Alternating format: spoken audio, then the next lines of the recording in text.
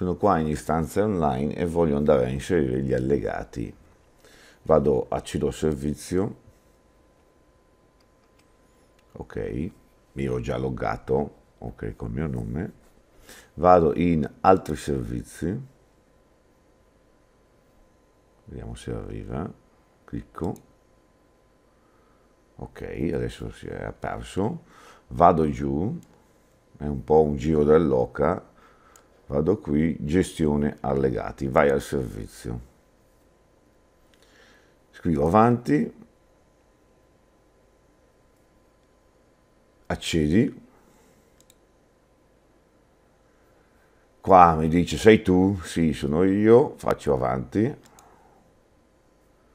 questo qua io ho già allegato eh, eh un'autocertificazione, adesso devo allegare la seconda.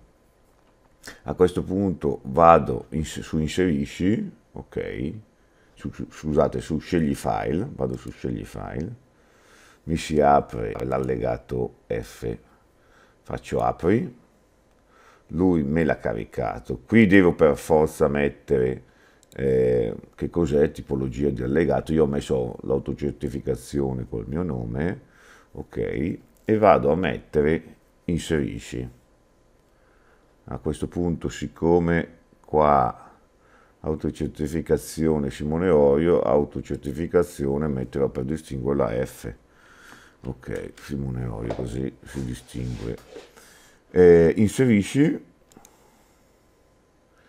devo mettere il mio codice personale, ok, a questo punto eh, vediamo se è quello lì rimasto, vediamo, conferma, che avevo già usato prima per non andarlo a prendere di nuovo.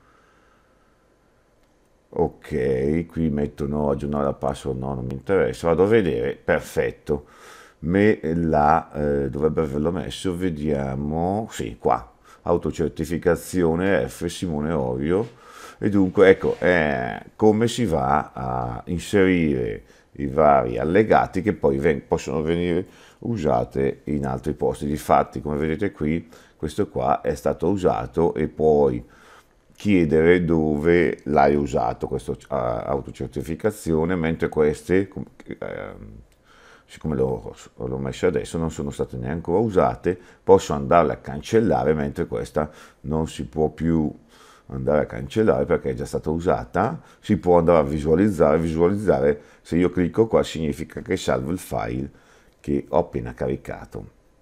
Ok, ci vediamo alla prossima, arrivederci.